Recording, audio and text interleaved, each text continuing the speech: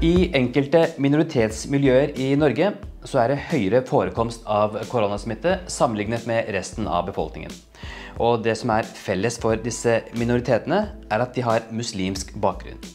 Og det har fått enkelte til å spekulere i om det er noe med religionen islam, eller det å være muslim, som gjør deg mer utsatt for koronaviruset. Det er en ganske drøy påstand, men vi skal se nærmere på den.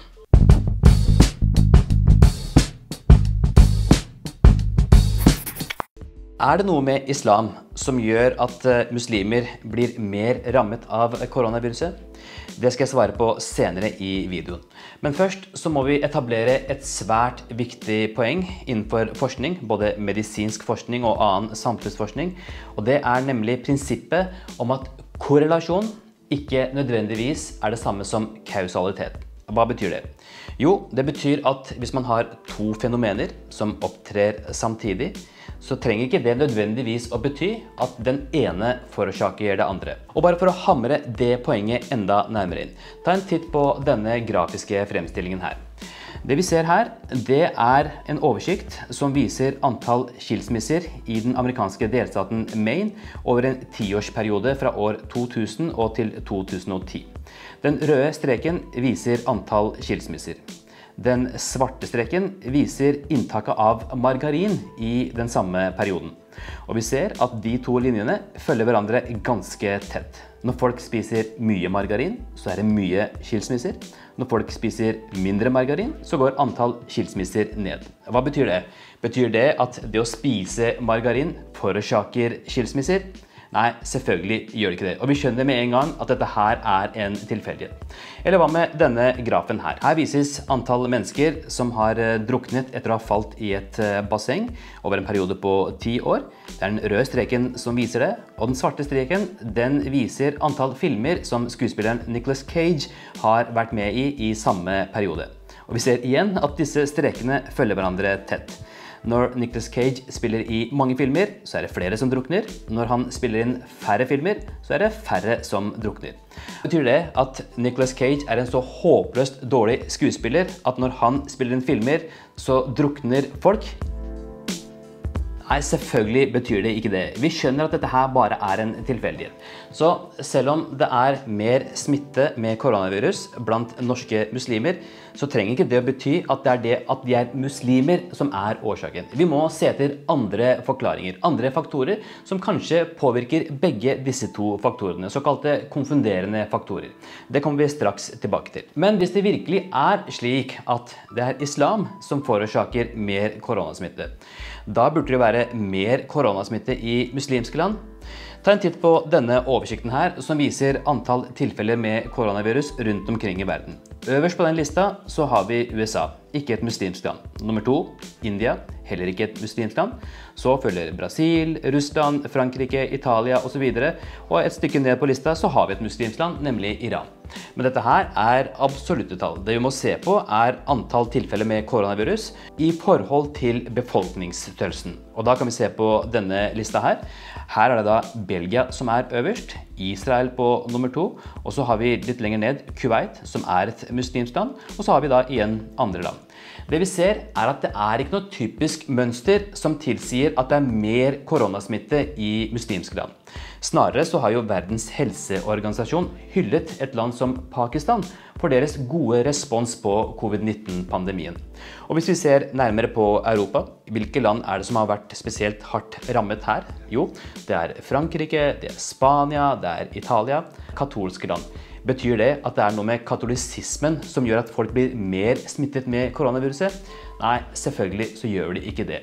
For virus de bryr seg ikke om hvilken religion du har. Så er det noen som har prøvd seg med en mer absurd mulig forklaring på hvorfor det er mer koronasmitte blant norske muslimer.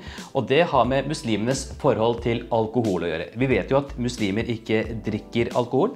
Og det er noen som har foreslått at fordi muslimer ikke vil ha noe med alkohol å gjøre, så bruker de heller ikke antibac Fordi antibac inneholder jo alkohol. Og dermed så desinfiserer de ikke hendene sine, og er således mer utsatt for koronasmitte. Dette her er noe av det mer tullete jeg har hørt. Forbudet mot alkohol det gjelder å drikke alkohol. Å bruke alkohol til andre ting, f.eks. medisinsk bruk eller andre formål, det er uproblematisk for de aller fleste muslimer. Hver gang jeg satt med en drosje med en somalsk eller pakistansk sjåfør, så har de faktisk tilbudt meg antibac ved siden av å bruke det selv. Og alle muslimer jeg kjenner sier at det er helt ok å bruke antibac til medisinsk bruk. Ja, du finner sikkert en eller annen fatwa om at alkohol skal unngås til enhver pris, og du finner sikkert noen få som absolutt ikke vil bruke parfyme med alkohol eller deodorant eller antibac fordi det inneholder alkohol, men dette her er et veldig lite mindretall. De aller, aller fleste muslimer har ikke noe problem med å bruke antibac. Så hva er greia? Fordi det er jo et faktum at det er noe mer smitte blant norske muslimer sammenlignet med befolkningen for øvrig. Hva er det som gjør at disse blir mer rammet? Og Da må vi tilbake til det jeg sa i innledningen av denne videoen. her. Vi må se på såkalte konfunderende faktorer. Altså andre faktorer som kan forklare hvorfor det er mer smitte.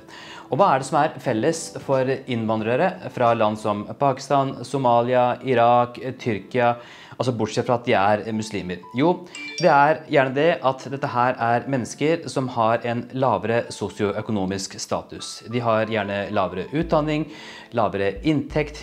De er oftere i yrker hvor de ikke kan være hjemme og ha hjemmekontor. De er mye i møte med andre mennesker, f.eks. For i form av å være en drosjesjåfør, eller sitte i kassa på Rema, eller jobbe på Ikea. Altså den type yrker hvor man utsettes for mange andre mennesker, og sånn sett er mer utsatt for smitte. Så kan det også ha noe med språkbarrierer og kommunikasjon å gjøre. Kanskje informasjonen ikke har nådd godt nok frem til disse gruppene. Kanskje burde vi laget mer tilpasset informasjon. Og også bosituasjonen er ofte annerledes enn det den er for majoritetsbefolkningen. Mange som bor i en mindre leilighet, og sånn sett mer utsatt for å bli smittet av hverandre. Så finnes det sikkert en liten del blant disse norske muslimene som gir totalt F i smittevern, som ikke bryr seg om å bruke antibac, som ikke ønsker å tro på at det er noe som heter koronavirus engang.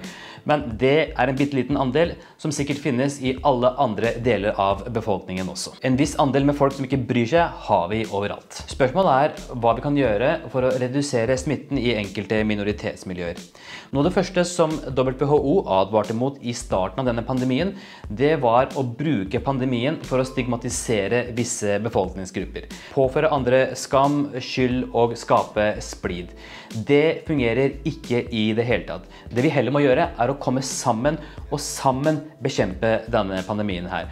Og det gjør vi ved å gi folk god informasjon. Få dem til å følge de rådene som er viktige å følge. Fortelle hva det vil si å praktisere sosial distansering. Fortelle om viktigheten av å teste seg hvis man har symptomer. Hva det vil si å gå i isolasjon hvis man er syk. Hva det vil si å være nærkontakt, og hva en karantene innebærer. Og hvorfor vaksinering, som skal starte om noen uker, er veldig viktig. Det er slik, ved å komme sammen og samarbeide, at vi kan stoppe denne pandemien her.